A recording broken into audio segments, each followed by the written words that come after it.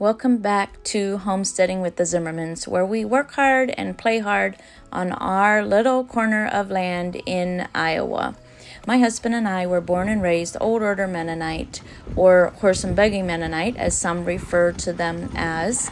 And although we are no longer part of that culture or community, we are intentional about passing on the old fashioned skills of our childhood to the next generation. Good morning. It is Tuesday. It's about 6:30 a.m. and today we are going to film a day in the life. Um, and today is also sweet corn processing day. We did um, sweet corn. Okay, so my daughters, my three daughters and I were on vacation all of last week.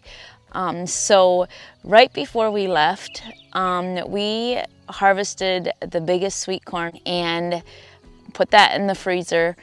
And so now today we're taking off everything else that's there. And normally on an average year, my sweet corn all gets ready the same week and we do two processing days. Or we might have one day where most of it's ready and we process it and freeze it and then we might just have enough left over for fresh eating for another meal. But because it was dry this year, my sweet corn was inconsistent with how it matured. So it actually worked out fairly well for us to harvest some before we left. And then a week later, um, we have more to harvest. However, I do expect that some of today's cobs will be older than I would normally harvest it, but we will cross that bridge when um, we get there. So we'll open them and if they're too old, like if they have dents in them already, um, then I'll know that the sugar content is no longer there and it won't freeze well and it'll come out of the freezer tasting terrible if the corn is too old. But I've been out here in the garden for about 30 minutes. I've drank my coffee, done some light weeding, and I am now gonna take off all the corn and by that time it'll be time for the kids to get up and for us to do chores and then we will start processing the corn after we milk the cows and all of that.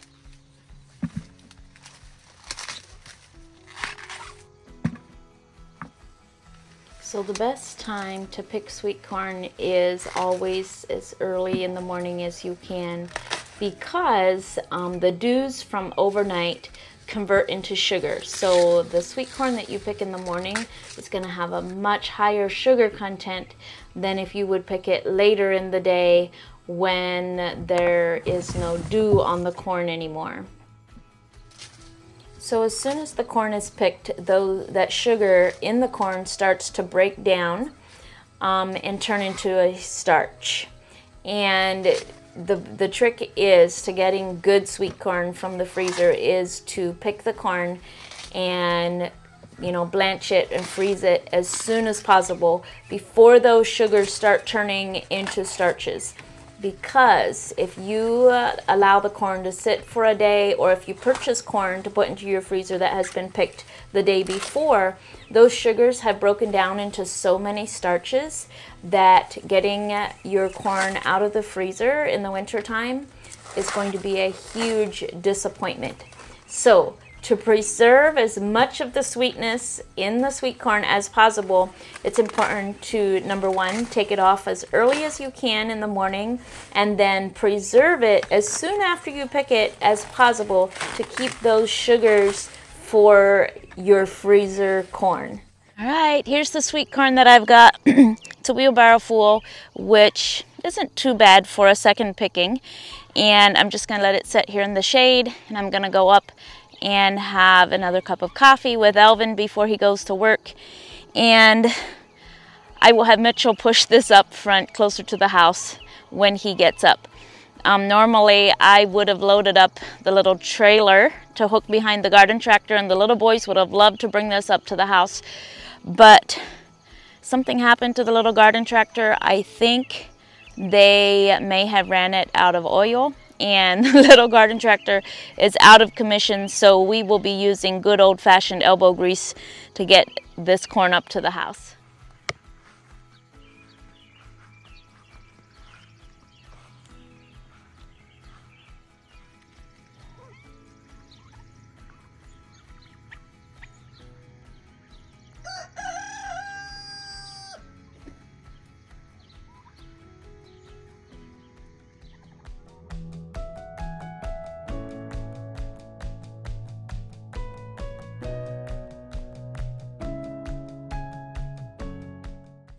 So after Elvin leaves for work, I spend some time making our bed and putting away laundry that we did yesterday and I was too tired to put it away last night. Hey guys, time to get up and do chores. I can tell that my body needs some nourishment before I go do chores, so I'm having a glass of milk.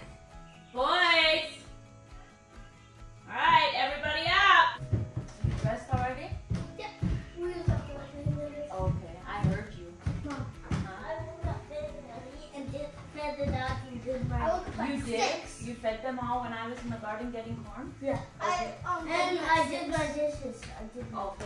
I fed Um, them at six. I need, I mean, are I. those gonna stay up? woke Okay. I woke up at six. I got a whole wheelbarrow load of corn. It's not a ton, but At least we're gonna eat it. yeah. Super. All right.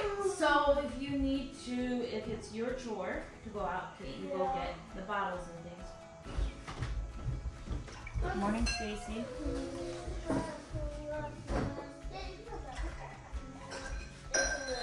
Here, I've got one. Somebody can use mine that I have. Mom, me and Edison are You want more milk than that?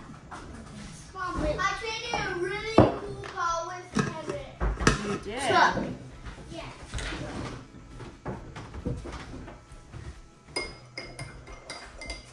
Morning, Mitch.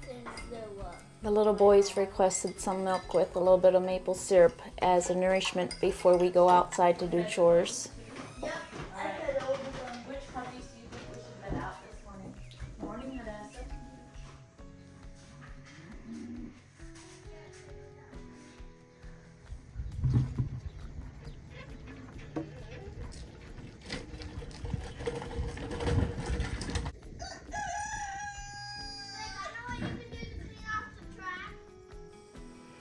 Cows are currently in the lower pasture, which is our bigger pasture.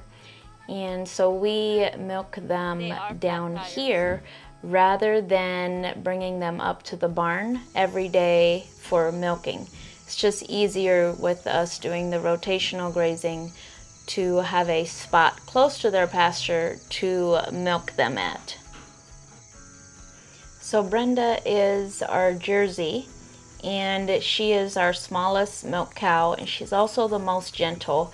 So because this is Hadassah's week to help with the milking chores and Mitchell will do the morning house chores, um, Hadassah will get started with milking Brenda while I start with milking Norma. Norma is still our most headstrong milk cow and will probably always remain the most headstrong and it's just easier for me to milk Norma than it is for the kids to milk Norma. Norma also is not as easy of a milker, like it takes more arm and hand strength to get the milk out. And Brenda, the little Jersey, is a very easy milker. So overall, it's just better for the kids to get started with Brenda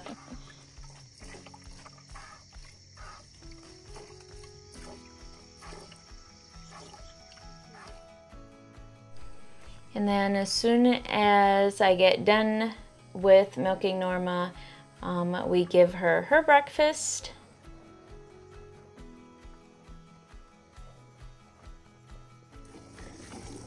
And then I take over for Hadassah and finish milking out Brenda. Um, Hadassah finds it difficult to milk the smaller back teats, um, so you, she usually leaves those for me, but most mornings she gets her about three quarters of the way empty while I milk Norma. So as soon as I'm done milking Brenda, then she gets her breakfast as well.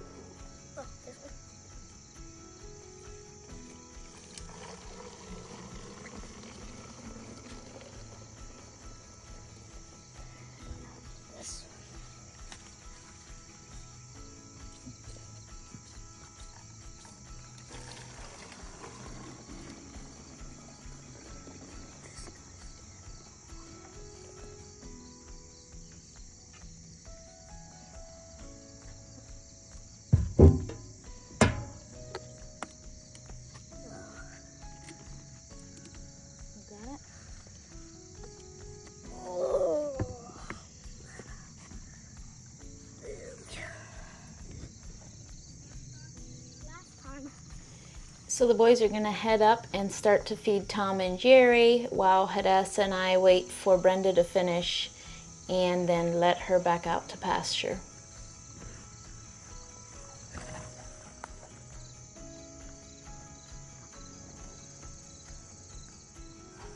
So now we take the milk up to the barn in the house. Um, we need to refill the bottles for Tom and Jerry because they get three quarts in the morning and three quarts at night. So we fill the bottles and then we need to fill them halfway up again.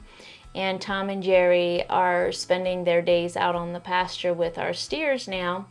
So the last half of their bottle is used to lure them outside and then we finish their bottles outdoors. Head butted me. It head butted you.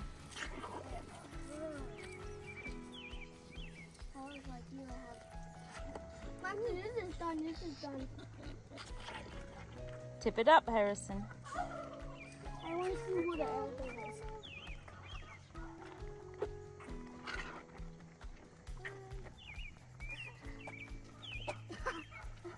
Mom, look. Uh-huh.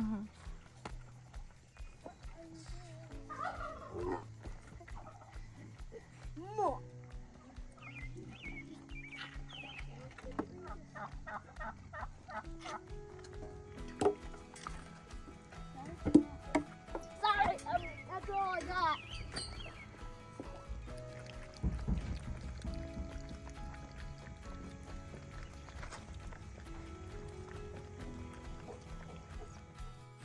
So back in the house, we work on straining the milk and putting them into clean sanitized jars and then taking them all into the refrigerator in our garage. We also mark the jars um, specifying which cow the milk was from and the date that it was milked.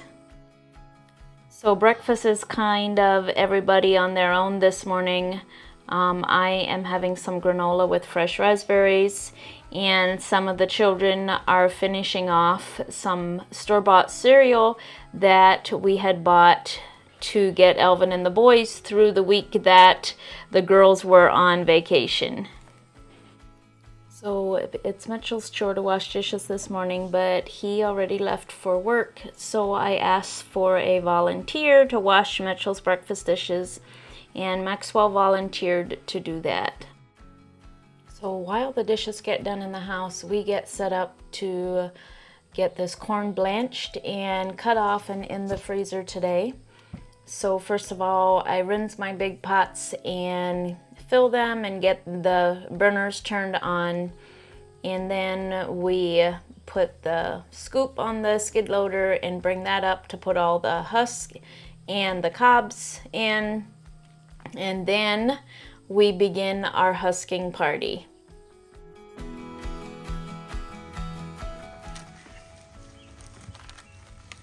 Yeah.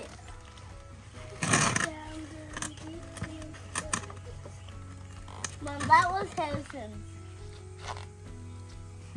Yeah, you can give that one to the pigs. The pigs will like that one. I ate some of it. You ate some of it. Get the ones that So as soon as we've got a pile that is husked, I start cleaning up the cobs, getting them ready to blanch them. Mostly I'm cutting off any wormy parts and pulling off any silk that the kids missed. And then as soon as the pot of water is boiling, I fill it with cobs and start blanching the corn. So as soon as the corn is boiling, we remove it from the boiling water and plunge it into cold water. The boiling water will stop the enzyme action that breaks the sugar down into starches and then the cold water stops the blanching process and this preserves the corn. Okay, you can put these over here now. Maxwell, bring me more corn, please. This stuff is colder. Once this right here, okay, stop putting corn in. So we need to wait until it's hot. Mom, this is colder. Yep, we want them colder. No, wait. If we go on it and it's cold, okay. Here, you can get the hose and rinse this, Maxwell. Like actually hot. Take the hose out there on the rocks and rinse that out for me. Is it good still? Yeah, give the hose to Maxwell for a minute. Mom,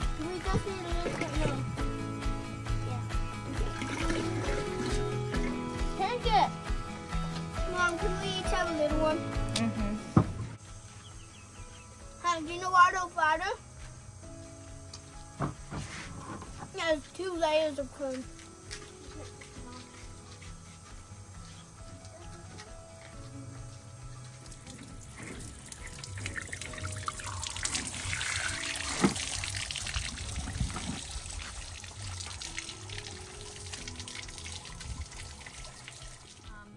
So once all the corn is blanched and cooled, it's time to start removing the kernels from the cob. Don't want parts of the cob in. Okay, Hadassah, hold it, look at me. No, not your thumb. Your thumb goes right here on the blade. And then put it at an angle. Yep. Can someone get me a cone? Kendrick, can you bring the bucket closer? Can someone get me cones? I can go over there. Then I just have to go. There you go, and then scrape it real hard. No, scrape it. You want to get all that out. Hadassah, look. Go like this, and then go like this. See all that stuff that comes off when you go like that?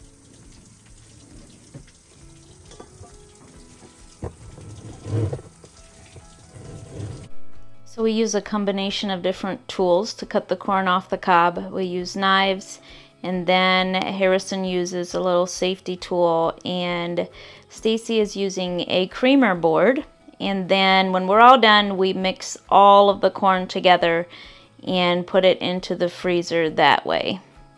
And I will link the tool, the creamer board and the safety knife in the description. So Mitchell is using the hot blanching water and pouring it over the weeds that are growing where we don't want them and this will scald and kill the weeds. So now that the corn is all cut off, it's time to put it into some freezer ziplocs and get it put into the freezer so it can freeze. Altogether today we got about 15 quarts of corn, which brings our total corn in the freezer to about 30 to 35 quarts which is about exactly what we need to get us through until next summer.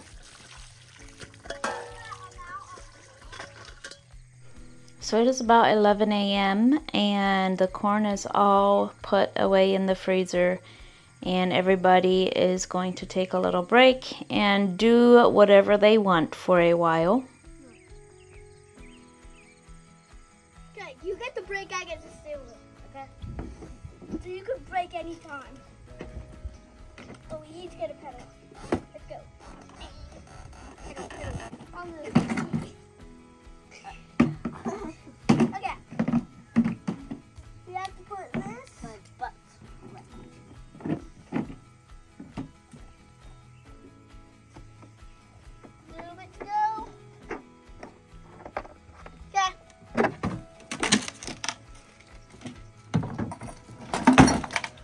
let's start taking put those where, where did I make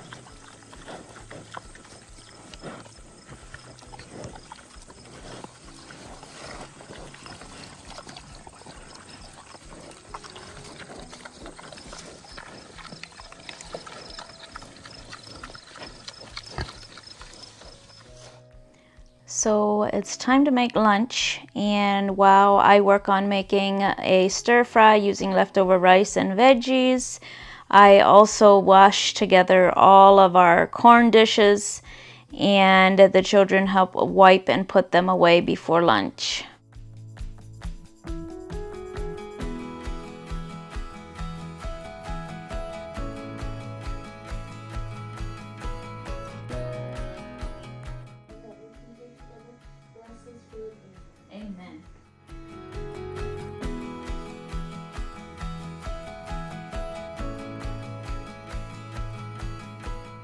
While the children clean up from lunch, I'm going to spend some time in my office. I'm going to read my Bible since the busy morning did not allow time for that and catch up on a couple emails.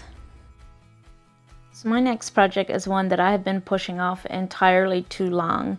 We have this medium-sized upright freezer in our garage and it stopped doing a great job with freezing the meat that was in it. So we took everything out and we defrosted it and then we just let it set and forgot about it. But now we are getting a beef back from the butcher and I'm going to clean this freezer and plug it in and see if maybe defrosting it was the only thing that was the matter with it or if it really is junk and we need to throw it out. I've got it cleaned up and I've got it running. So I'm gonna put some water in and see if it'll freeze this shallow dish of water. And if it does, we are in business. Um, if it doesn't, then we're gonna have to come up with plan B.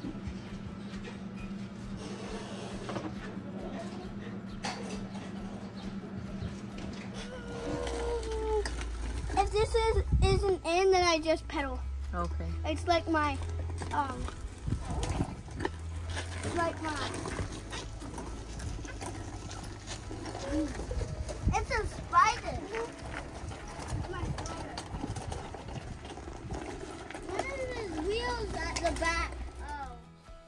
It's such a beautiful and breezy afternoon. I decided that I would have plenty of time to wash all the little boys' sheets and get them dry before evening.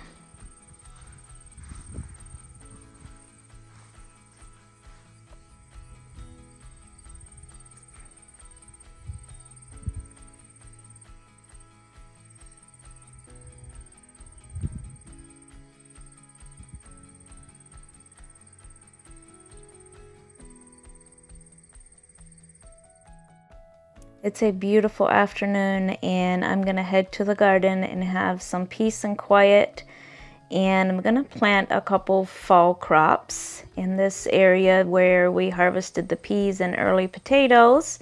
So I'm replanting some snap peas um, and these will just be for some fresh eating later on this fall. And I don't have high hopes for any of these fall vegetables that I'm planting just because the pest pressure is usually pretty intense in the fall. Um, I'm scattering some radishes here in this area and even if we don't eat many of them, radishes are great for breaking up the soil and any radishes that we don't harvest can stay in the soil and they will break down and create a great mulch for next spring. I'm also direct seeding some cabbages. Um, my germination rate when I direct seed is usually not really great, but at only $1.40 for 100 seeds, if we get half a dozen heads of cabbage from this, it will be worth it. I also tie up some more of my forest of tomatoes. Um, as the tomatoes have grown, they have um, pulled down some of my branches of tomatoes. So I'm just reinforcing these tomatoes and I don't, because I don't want them hanging on the ground and I especially don't want my tomatoes to lay on the ground.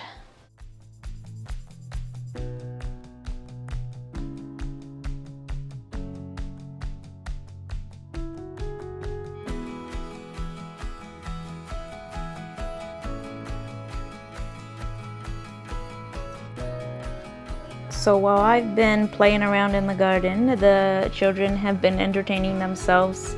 Um, the little boys are playing office.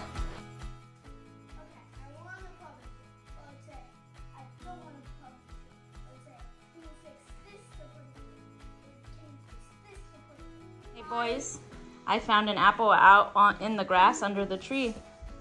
I cut it for You you. have caramel for it? No, I don't have caramel for it. You just eat it just like that. Okay, can you put it on my office desk so then we can all come around? Mm. Sour. They're a bit tart, aren't they? They'll get sweeter with time. No, you start at the one circle. Oh, that was disgusting.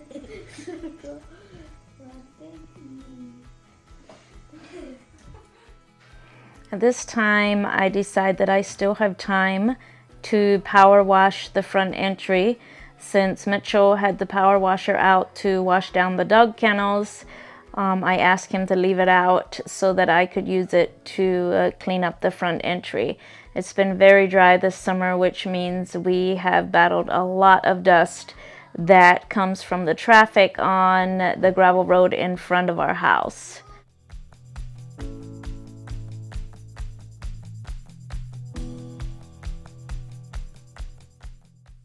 So it's time to prepare some supper. I am using some leftover mash, uh, some leftover potatoes. I am going to mash them and then add some butter and salt and cheese. And then on top of the potatoes, I added some peas and some leftover barbecue hamburger or sloppy joe before I put it into the oven.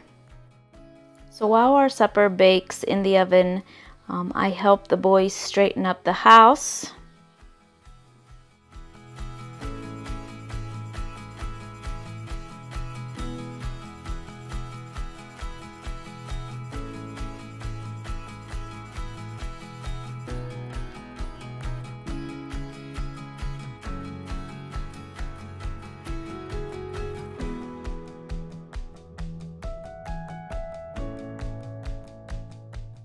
So since we're waiting on Elvin to get home from work for supper, we um, decide to hurry up make some coleslaw to go with our casserole of leftover peas and potatoes and meat.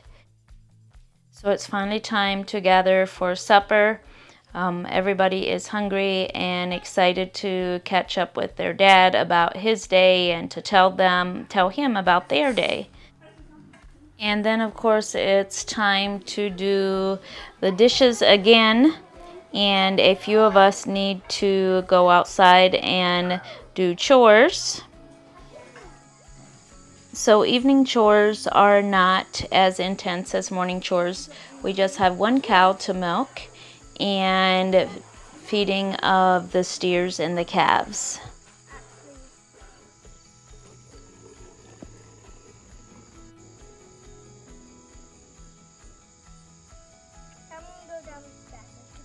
Okay. Hey, wait, wait, wait, Mom, the fence. Oh, their gate's not open. Go anyway. Go anyway. Open the gate.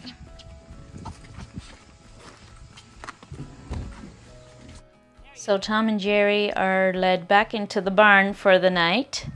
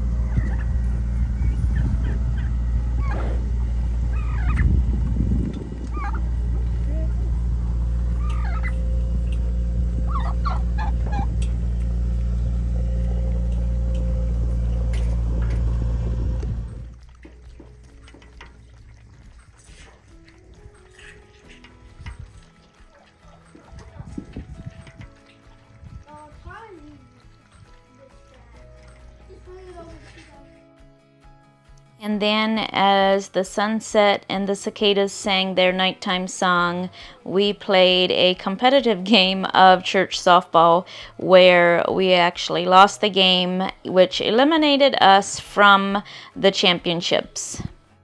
So, back home in time for bed, but of course, the little boys need some more nourishment before their long night of rest.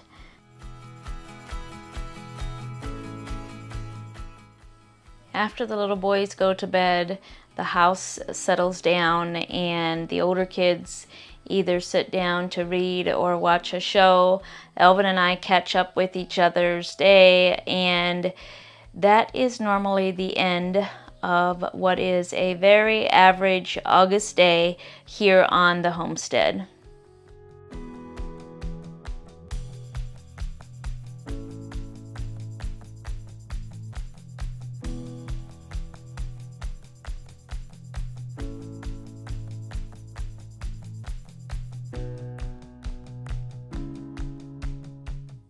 That concludes today's YouTube video.